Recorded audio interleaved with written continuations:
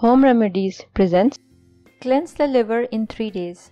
All dirt will come out of the body. Today I will share with you an easy and incredible remedy. It also helps regenerate liver cells. It protects the liver. It protects and rejuvenates blood vessels, thus improving blood circulation and protecting cardiovascular health. Pomegranate also has a cholesterol lowering effect. Hey friends, from which city and country are you watching my videos from?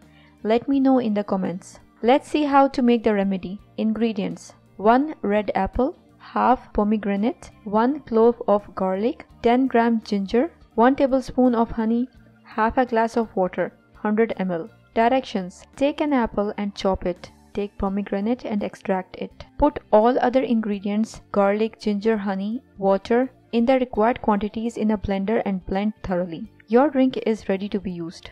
If you are going to consume it for liver health, drink a glass in the morning on empty stomach 3 times a week. If you want to drink it for weight loss, drink this in place of your dinner. If you liked the video, hit that like button to give it more value and share it on your social networks to let others benefit from it too. Thanks for watching. Goodbye.